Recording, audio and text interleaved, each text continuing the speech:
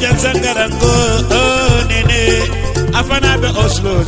No Welcome, viewers, to Neneh on Mamos Media, the media house of the future that links you globally. We are honored to be in the presence of Her Excellency, Dr. Isatou Touray, the Vice President of the Republic of the Gambia.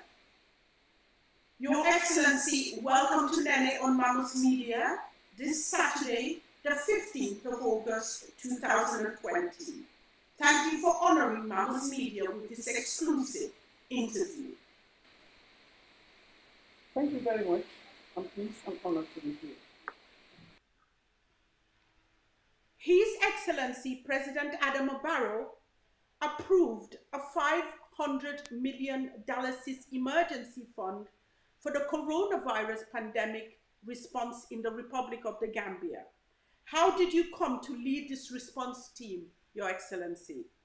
Thank you very much. As you are already aware, in, uh, on the 17th of March 2020, the first COVID case was discovered in the Gambia, and His Excellency, the President, immediately recognized the fact that novel corona outbreak represents a significant risk to the country, especially to the vulnerable groups of our society. The disease has a great potential to cause high level of morbidity and mortality and to disrupt our community socially, economically, etc. For these and other reasons, His Excellency, the President of the Republic of the Gambia, President Barrow, immediately constituted a cabinet subcommittee on COVID-19 to support the Ministry of Health in responding to this pandemic. The purpose of the creation of the cabinet subcommittee, chaired by my own humble self as Vice President, with this delegated responsibility, was to support the process. The President, which is, is a delegated uh, responsibility, and to demonstrate active and visible leadership, political authority will be more important than ever given the complexity and global scale of the COVID crisis. This is critical for the implementation of the strategic and accelerated response and preparedness to the COVID-19 pandemic in the country, which Ministry of Health is taking the lead on the epidemiological and clinical responses. So this is the great political leadership that His Excellency President Barrow has given to this COVID pandemic. Thank you, Your Excellencies. Your Excellency, what challenges or shortcomings was your team faced with, bearing in mind the constraints our government inherited from the Jammeh dictatorship and era? Well, you have to understand that COVID came at a time as a global pandemic when none of the countries were, uh, were expecting it. And obviously, there will be challenges. The challenges we had was to put things together at the initial stage, trying to figure out what to do and how to move. And the, one of the biggest challenges I would just uh, explain is the data, access to data. We needed data to make sure that we quickly respond, but then through that process, we realized that there are some data that was lacking, and that data later on it was collected and brought together. That was one challenge. The issue of the logistics. Of course, we have to cover almost 84% of the population, and 84% of the population means a, lot, a huge logistics. So putting the logistics together and uh, moving them together was also one uh, challenge. So as people were also becoming aware of the disease and the fact that uh, it has caught up with all the countries all over the world, Gambia is no different. There was need for us to also raise the awareness of the people and for them to understand that COVID is real. They have to understand that it's a killer disease and that everybody has to listen and follow the regulations of the Ministry of Health and also the uh, responses coming from the government. But nevertheless, these challenges over time were addressed and people are now being aware of what it means and actually I think we are moving towards the right direction. Thank you. We saw the intensive information campaigns that the government of the Gambia ran, followed by the food aid response. But many became upset with you when you mentioned about the lack of Gambian youth response in the distribution process. Do you feel that that was an unfair statement for the youth of the Gambia? Well, you must understand the fact that um, The response was quite a huge response that His Excellency President Barroso, he gave rice, sugar, and oil, and reaching out to the whole country requires that a lot of logistics and engagement were involved. Actually, what happened was that all the things that were needed were there, and there was need for us to bring people together who will be paid to move those things from one place to another.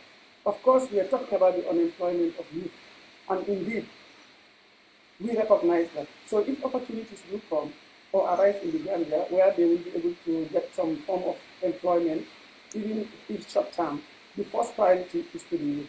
So the call I made was not to denigrate the youth of the Gambia. It was a clarion call to call them to be aware that this is a great opportunity where they can earn something in a dignified way. And my call was the concern that we had as a government to help improve the situation of youth, and that was the call. I believe that if you listen to that tape that was that, that, that is being deflected, it is about calling the young people our concern. The government is concerned about their opportunity, opportunities that do exist, and they are a priority to us. It was not meant to do anything to harm them or to denigrate them, and I didn't in any way denigrate them. It was a concern to call them to participate effectively in the national development. It was also going to create some opportunities to earn resources. Again, Your Excellency, we saw the heaps and mountains of food aid distributed, but yet some regions claimed that the distribution was political and that, and that it did not reach the most vulnerable members of the uh, families that needed it the most. What is the response of the presidency to that? As I am talking right now, we have 91% of the population that deserve this support we have hit them and we have been doing everything to make sure that those that deserve it will benefit and the issues that were coming. At the initial stage, you cannot stop people from having that perception. But the president is here for everybody. He is the head of the country, he is the leader of the nation. It is his responsibility to serve the Gambians and all other people within the Gambian territory that are caught up with this COVID. And that is exactly what he did. So it is left to people to politicize it or to talk about it in a way that they may not understand. But I think it is now quite clear to the whole world and to the whole country that this has nothing to do with politics. It's about life and death and it's about survival of the population and responding to their needs the president as the primary duty bearer has responded to adequately.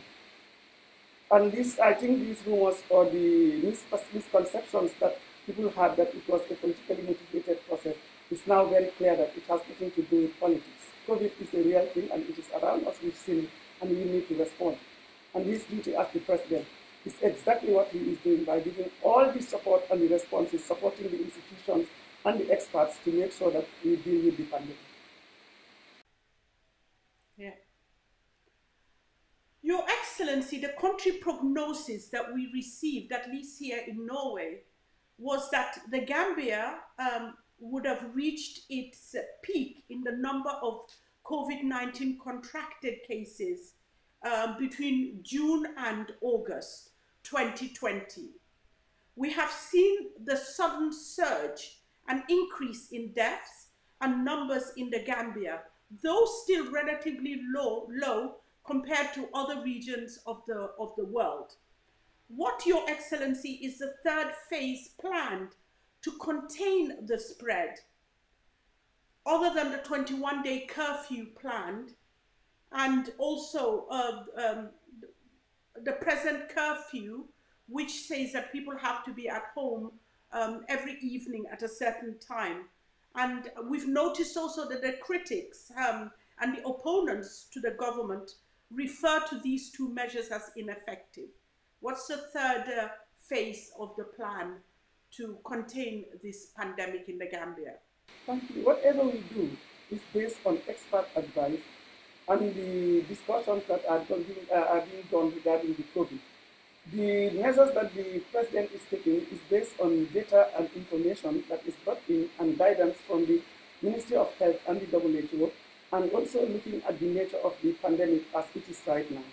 So what is being put in place is appropriate uh, advice coming from the relevant institutions At the same time, also, the third phase cannot be determined by us, but rather based on data and information coming from the experts. And that's exactly what is going to happen when it is time to respond, because COVID is with us and we do not know when it is coming to an end. And as it folds up, as it, as it unfolds, then experts will come up with strategies that will be appropriate for it. Yeah. Thank you. Your Excellency, it's wonderful to see that you're in good health and that you have now tested negative for COVID 19 after an initial positive test. Please explain your journey with COVID 19 and the trauma involved, if any at all. Yes, uh, COVID has no boundaries. COVID has no class, has nothing whatsoever. Anybody could be susceptible to it as long as you are exposed to the, uh, uh, to the virus. And uh, what I just want to say here is that I happen to be one of those that was exposed to the virus. What I did was when I realized that I was in a scenario where one of the members died, that gave me an, uh, uh, a feeling that I need to go and test. And I did the test, and it happened to be positive. So immediately I informed my president, His Excellency, that I am positive, and this is the situation. And uh, there was a press release to that effect which was, I feel, very useful for people to know that there is no class boundary within the, uh, with COVID. And I decided to follow up the medical guidelines. That is isolation, social distancing, wearing face masks, washing my hands, and also listening to the uh, advice that they give. It is through this process and the support of my family as well as the ministry, my president has been very concerned and he's been checking on me on a daily basis I think which I really appreciate, and I want to say that this is a real leadership quality that is great. Uh, I, through that process, I isolated and all the, all the procedures, and over time, I began to recover. Thank you. Critics again have said that this was a political ploy by you and the presidency, and that you did not, in fact, contract COVID 19. What is your response to these allegations? I don't think anybody would pray to be sick. I see no reason why one should cook up something that is not real. We all know the reality of COVID all over the world, and it has uh, caught up with, uh, uh, with different leaders all over the world. So I am no different. I don't think it is true that there uh, that were, it was something that was cooked to the president. The president did not know I had COVID until I told him. So I was sick like any other person may be sick and he was informed. I, I don't pray to put this forward in what ulterior motive do I have to do that? Thank you. Okay. Um, Your Excellency, it was it was um, wonderful to see that the president was in good health um, yesterday when he addressed the nation. He was looking very well, very fit, and um, and looked as if nothing had happened. But there are rumors that the president was in fact in hiding because he had COVID 19. Was that rumor true in any way? I don't think it is true. As you have already said, you have seen him tail and, and kicking and addressing the nation with some very important information regarding the situation in the country. He is negative. It is a practice that when people, when a disease that is highly, highly contagious is in existence, it's important to observe self-isolation and that if anything, if that is the case, that is what he did. He is negative and the results have come out negative. He is very pale and happy. And I believe all of you saw it all over the world that he addressed the nation. Thank you. Critics of the government claim that the curfew is imposed by the government to register and print false ID cards for ghost NPP voters to steal the 2021 elections. How true is this allegation? I don't know what has COVID got to do with elections that are supposed to come in 2021. There, this is, of course, indeed a very, very false allegation, and that this government is concerned about supporting the population in going over the COVID, as we have heard from the speech of His Excellency President Barrow, with everything that he has said, is his full commitment to the nation to put in anything and everything that he can as a leader and as, an, as a government to ensure that people move forward. We cannot stop people from saying what they want to say, but I believe that COVID is beyond politics. COVID is about life and death, and it is the responsibility of all of us, all over the world and everywhere in our, uh, in our various countries, to support the leader and institutions to move this country forward rather than with false allegations. Your Excellency, as a feminist serving the same government, do you and other female ministers meet and mentor each other? Because the mayor, the mayoress of the Gambia, her of Banjul, sorry, as response was out of character for many feminist leaders around the world. Because what we saw her response when she sat on the stairs um, crying her eyes out um, when we know that, in fact, the countries who have tackled COVID 19 the best um, in terms of their responses all have been led by women. Is there any form of a mentorship for women in power? Well, in our government, all the women who are in power and in the position, in cabinet position, we collaborate, we support each other, we advise each other, and uh, work together in trying to come up with strategies on how we move forward to improve ourselves, to build up others, and we also work together with different constituencies in terms of that.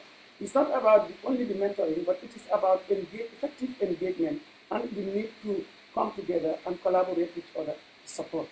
That has been going on. We have been doing it within the uh, framework of our cabinet caucus with the women.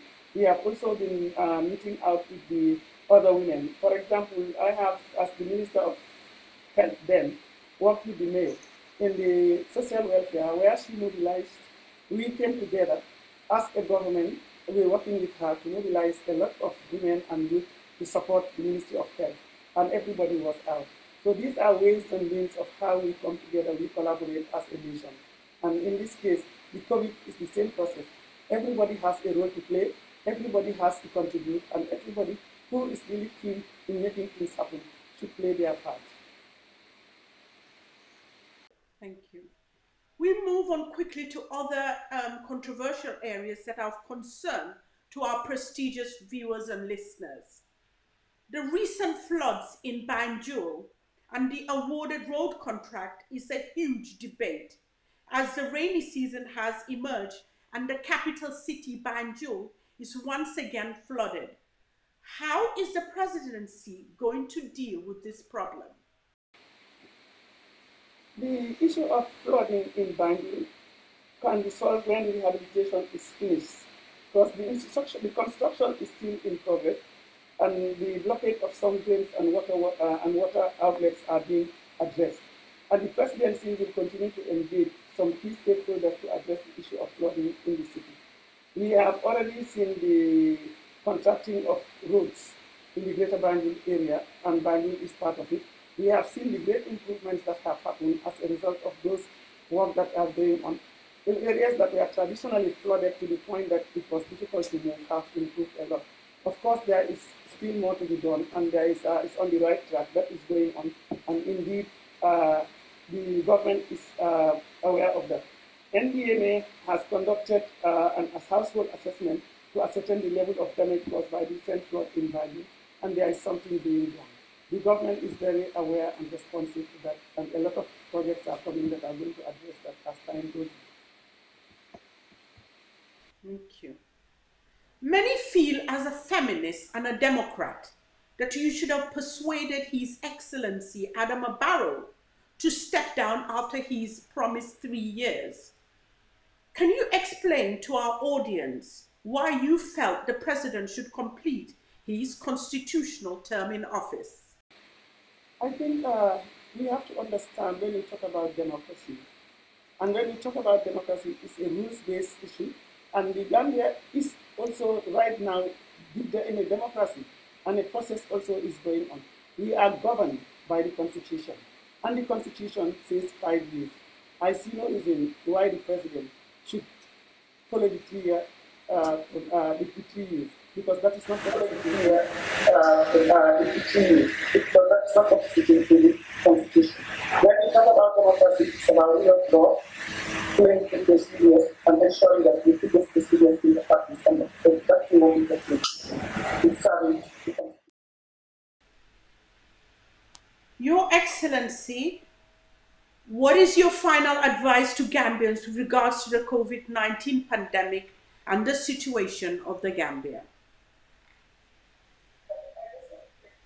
I just opportunity and also on behalf of the President Barrow to take the, to the frontline workers, doctors, the nurses, the clinics, those who are in front and those who are behind the scenes, the philanthropists, individuals who in one way or the other are supporting the efforts of His Excellency and other people both inside and outside the diaspora for the effort they are making in trying to contribute towards how we can address uh, the pandemic.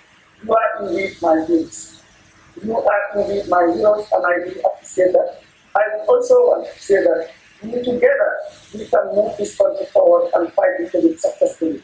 If all of us follow the rules, the regulation, and the advice that is given by the health experts, what does that mean? Wash your hands with soap and water, put on face masks, uh, observe social distancing, and also follow the rules and regulations in terms of the public orders that are given for us to move this country forward and fight the COVID uh, uh, uh, uh, pandemic. His Excellency President Barrow has given all his crowd, his powers, and appreciation to, ensure that we move forward with the process. And I think that all of us work together in responding to these issues. We will save our lives, we will save the lives of the population and the lives of others. I just want to say thank you to everybody here. And right now, I just want to call all and everyone that you can survive COVID if you follow the rules and the You, And you will COVID by the grace of God. And I want to take the opportunity to pray for those that died in this process. I pray that God will take them to the benefit of God, those who are sick and him. I want to thank the media workers and the journalists, and you in particular, Rosemary Bailey, for the great work you are doing in creating visibility of what we are doing in the Gambia, interviewing personalities, and everybody that is there. You are great leader in this great fight.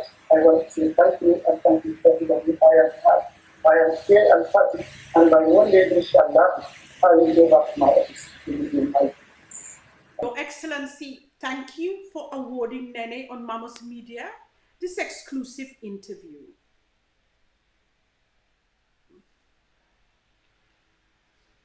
And of course, and of course, the amazing Minister of Information with you there, Mr. Ibrahim Masila. I hope you'll award us Mamos Media an exclusive very soon. Whenever you are ready. Um, that was Her Excellency Dr. Isatou Touray, the Vice President of the Republic of the Gambia, who came um, on Mamos Media on the Nelly Show and answered a few um, qu- um, questions about the state of affairs in the Gambia and the response, the government's response to the COVID 19 um, pandemic in the country. Viewers, thank you for tuning in. We'll be back very soon with many more exclusive interviews with the shakers and movers of the Gambian community. Thank you for viewing.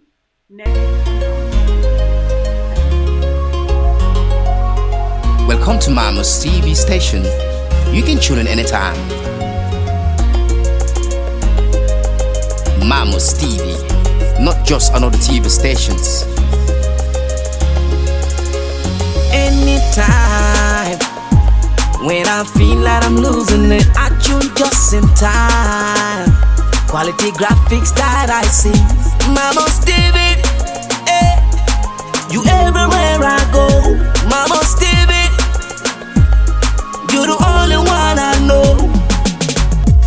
Mamos TV, you've been growing day by day, day by day.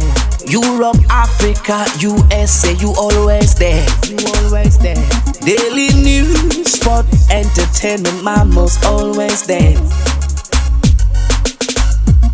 Mamos TV bring my cultural heritage.